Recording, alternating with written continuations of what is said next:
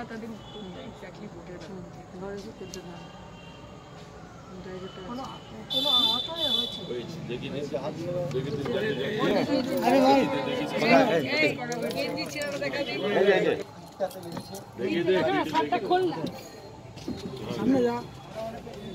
ঘুরতে লাঠিচার্জ করেছে direct police নেমে।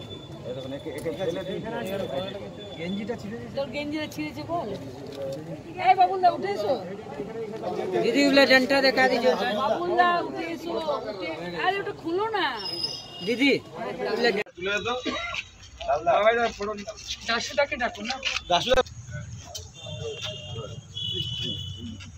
আজকে একটা মিছিল হচ্ছিল আমাদের পার্টির সদস্যরা করছিলেন তারপরে ওনাদেরকে আহ, পুলিশ লাঠিচার্জ করে ভেরি আনফর্চুনেট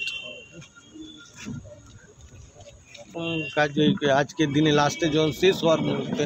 এরকম করা এটা মানুষ যখন ইন্টিমিডিয়েটেড হয়ে যায় বা ভয় পেয়ে যায় না তখন সে নানান কিছু করে। এবং এটা খুবই পরিষ্কার যে আমাদের বিরোধী পার্টি বেশ কিছুটা অস্বস্তিতে পড়েছেন এবং তাই তারা নানান কিছু চেষ্টা করছেন আমাদেরকে অস্বস্তিতে ফেলার বা আমাদেরকে ভয় দেখানোর। কিন্তু ওনারা ভুলে যান যে এটা এখনও তৃণমূল কংগ্রেসের সংগঠন।